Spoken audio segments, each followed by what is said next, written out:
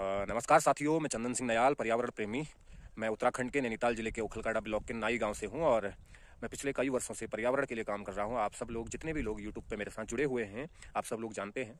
और हमारा कार्य ज़मीनी स्तर पर रहता है साथियों और बिना किसी जो है सरकारी सहयोग या बिना किसी उसके जो है हम लोग काम करते हैं और गाँव के सब युवा मिलकर हम लोग जो है पर्यावरण के लिए काम करते हैं। तो आज मैं हूँ अपने प्लांटेशन में और जहाँ हम लोगों ने बहुत सारे बाँच के पौधे लगाए हैं और अभी जो मौसम चल रहा है वो पिछले कई महीनों से बारिश नहीं हुई है, बर्फबारी नहीं हुई हमारे क्षेत्र में।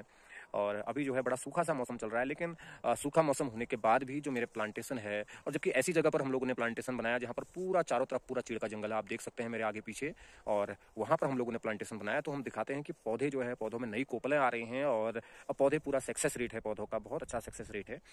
यहाँ पर हम लोगों ने जो बाँझ लगाओ, बाँझ बचाओ का एक आंदोलन शुरू किया था, उसके तहत हमने यहाँ पर मुख्य रूप से जो बाँझ की प्रजाति है, उसके खरसू के पौधे, बाँझ के पौधे, फलियाट के पौधे, रयाज के पौधे जो है हम लोगों ने यहाँ पर लगाए हुए हैं।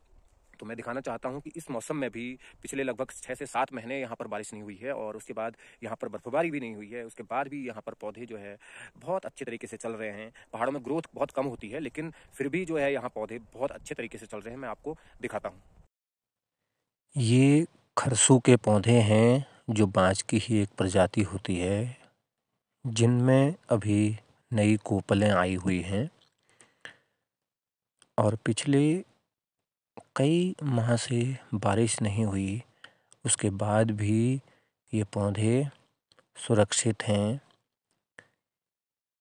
और जहाँ पर हम लोगों ने ये पौधे लगाए हैं, आप देख रहे होंगे, बिल्कुल सूखा एरिया है और इनके चारों ओर पूरा चीड़ का जंगल है।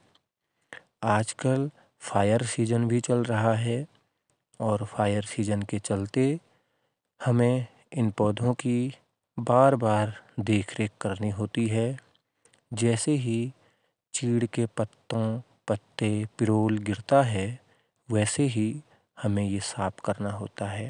ये पांगर का पौधा है, देखिए, और ये फिर खरसू का पौधा, जिनमें अभी नए पत्ते आए हुए हैं, नई कोपलें आई हुई हैं, इस प्रकार से। और लगातार इन पौधों की देख रेख हमें करनी होती है। ये खड़ी का पौधा है और जिनमें अभी नई पत्तियाँ आई हुई हैं। आप देख रहे होंगे, पिछले कई माह से बारिश नहीं हुई, उसके बाद भी ये पौधे हरे भरे हैं और बहुत सुंदर ये पौधे लग रहे हैं।